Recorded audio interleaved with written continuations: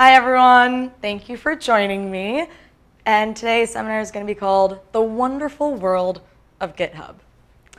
As I'm sure you all agree, I typically come up with the best titles. So let's jump right in. Okay, so first of all, what is GitHub? I recently heard GitHub being called the Google Drive of code. And in many ways, I really, really like that description. So let's take a step back. The first thing I want to say is congratulations. If you've taken CS50, then you already have a GitHub account, so congratulations, and you've already used GitHub. How?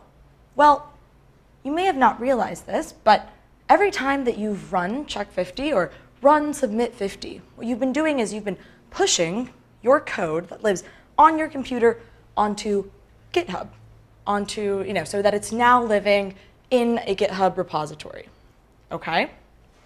So how does it work? How does, you know, code go from your computer onto this, you know, Google Drive of code? Well, the way that you ask GitHub to connect with your computer is through a series of Git commands. Now, Brian Yu, CS50's current head TF, has a really, really great seminar, which is an introduction to GitHub and basic Git commands, um, linked right above. And if you are not yet familiar with Git commands, I highly, highly, highly recommend watching this video. I know I've myself watched it many, many times. Okay, so in the seminar, we're not going to be talking sort of about the nitty gritty of how Git works exactly, but instead, I wanted to take a step back and sort of have a conversation about what GitHub can do for your programming experience, how GitHub can connect different computer scientists, and sort of really, really get excited about using GitHub throughout the rest of your CS careers. So the first thing I want to talk about is something that is very, very near and dear to my heart, commits, and specifically commit messages. So what do I mean by this? Let's take a step back. So essentially, every time that you push your code to GitHub, okay? Every time you say, hey, GitHub, I'm about to send some code that I've been working on on my computer locally, would you please go ahead and save it in my GitHub repository? So again, every time you push your work to GitHub, you have to attach a, a commit message. Now, when I first started learning how to use GitHub, I didn't really care about what messages I use. I really, sometimes I'd like try to submit it with no message, which GitHub doesn't really like. And then sometimes I'd just like really send random, random messages. You know, really like could have been anything, could have been like elephant or duck or something of the sort.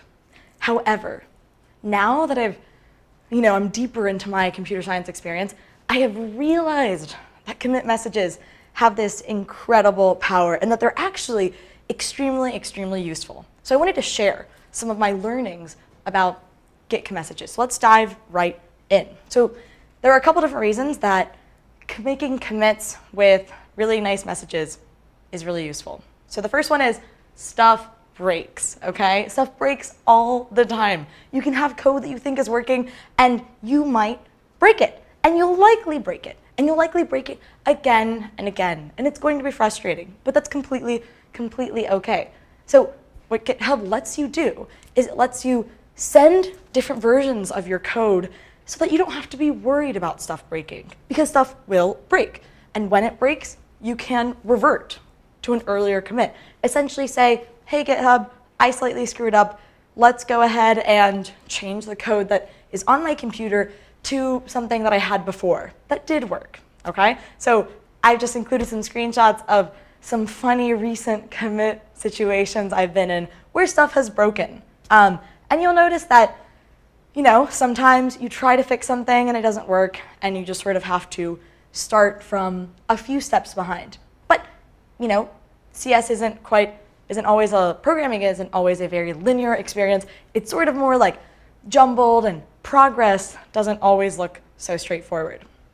So that moves on to our next reason, which is that it lets you try different things. So I know that many times I've been coding and I think I'm like 80% of the way there. And I think just in the corner of my mind that perhaps, perhaps there's maybe a better way to do it, or perhaps one of the problems that I have might be fixed by doing a certain thing. But sometimes I'm nervous because I think I'm 80% of the way there, I think, not sure that this 20% is worth me potentially ruining everything, okay?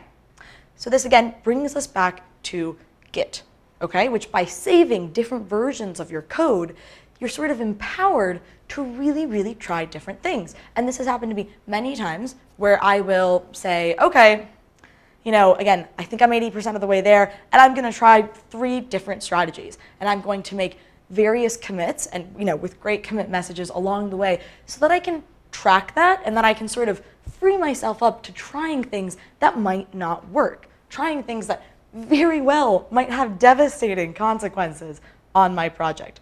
But that's okay. So again, in this fun little thing I've drawn, it's just to highlight that there are, you know, from a specific starting point, you might go in a bunch of different directions, Git really, really letting you do that safely and efficiently. And again, this sort of opens up a whole new world where you can code without the fear of, you know, things going so wrong that you won't be able to get back to where you started.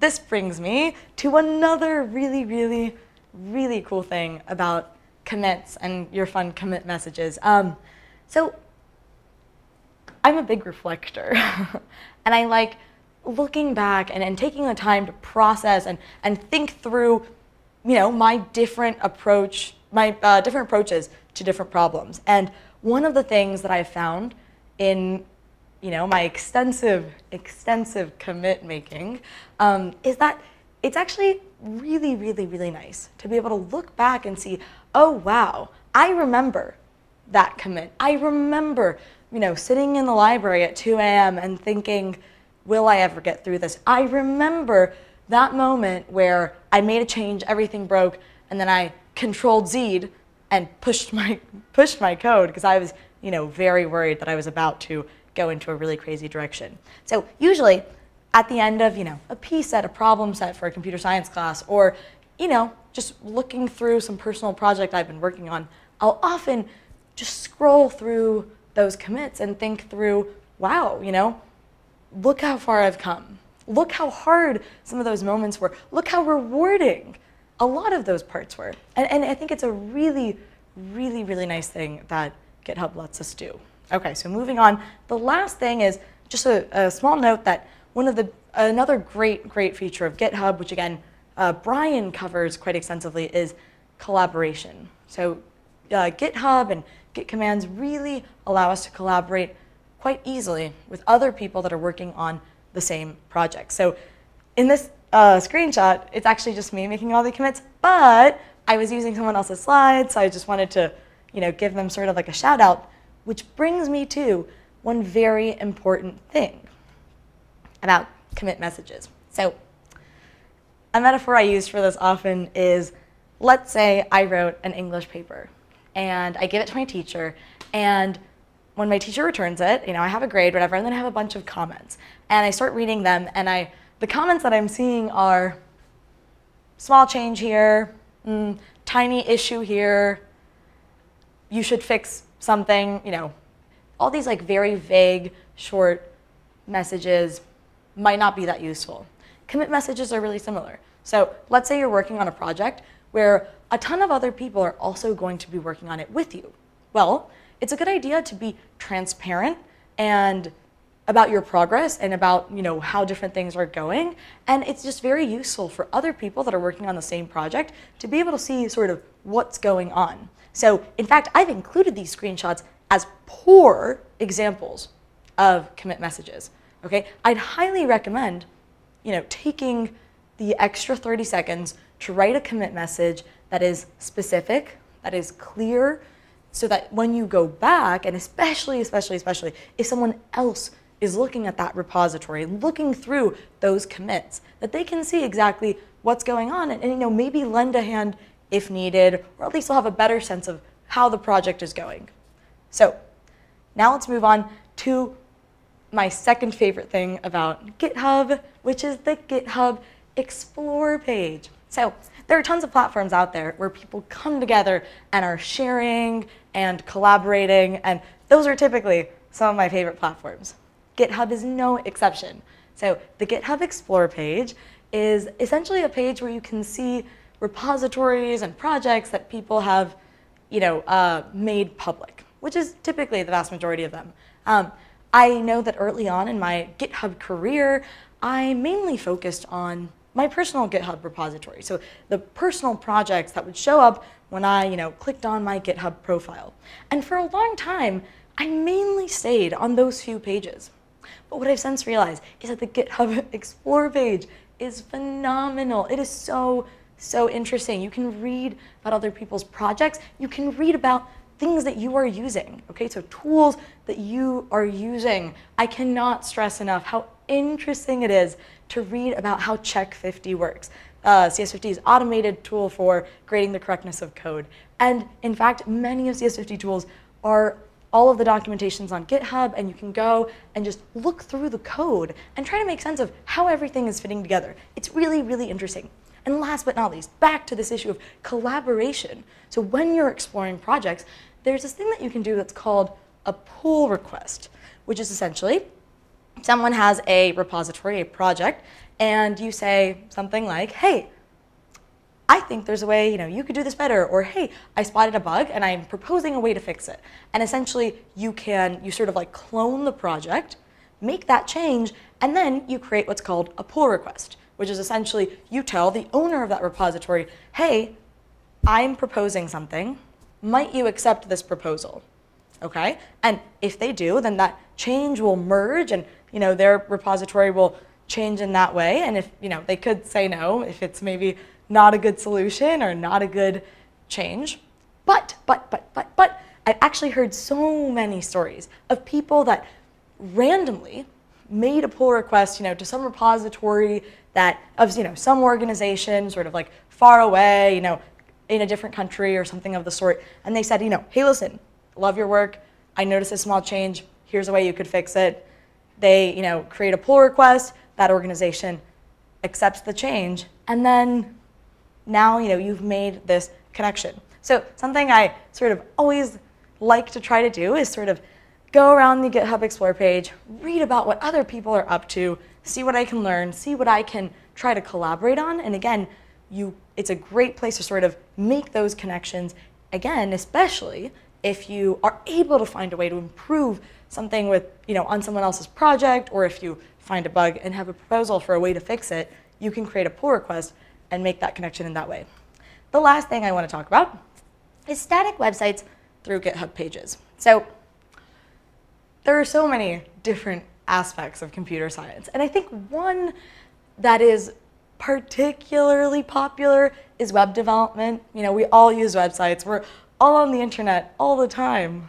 You probably are right now. Um, and a lot of us want to know how to build these things that we spend so much of our time on. So I recently have realized that there's this giant, giant push towards learning a bit of web development.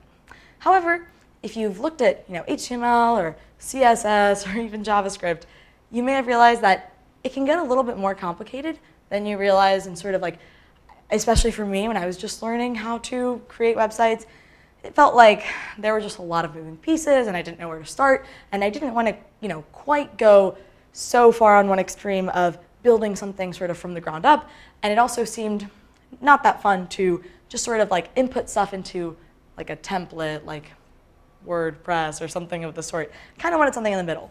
And I found that something that was really, really, really great to start with was GitHub Pages. So GitHub Pages is essentially a way for you to create static websites that are hosted on your own GitHub repository. Okay, so it's essentially a way for you to create simple websites and have them sort of live right away. It's all very clearly in your control. You sort of are coding on your computer and you can push changes to GitHub and then they'll sort of be like updated on your repository. So the great, great, great, great thing about GitHub Pages is they have phenomenal documentation, okay? Very much step by step walking you through how to create your first simple and static website, okay? This is how I made my, a couple of my like early first websites, I didn't really know, again, where to start, this is a great, great, great place to start. Okay, so what are the big takeaways of this? Git and GitHub can often sound like big, scary things, but they're not. Okay, again, if you've taken CS50, you're like 70% of the way there. Okay, so just a couple notes that I want to leave you with. As I said before, commit messages matter. Really, commits matter.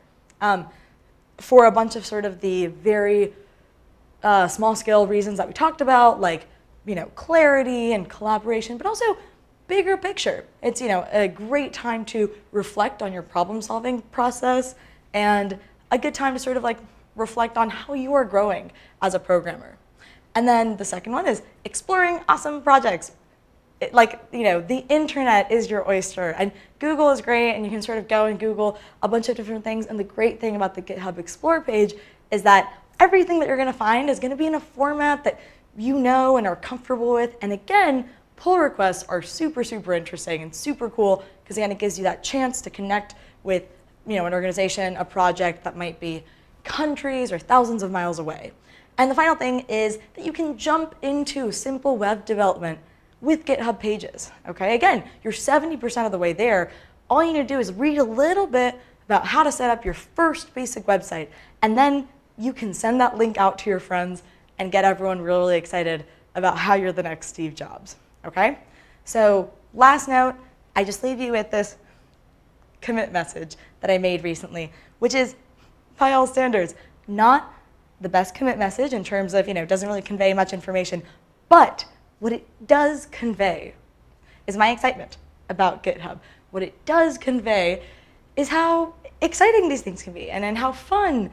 And, you know, I promise you, I promise you, I promise you that the second that you dive in to GitHub, start with watching Brian's seminar, that you're just going to find this wonderful, wonderful world and you're never going to want to get out of it.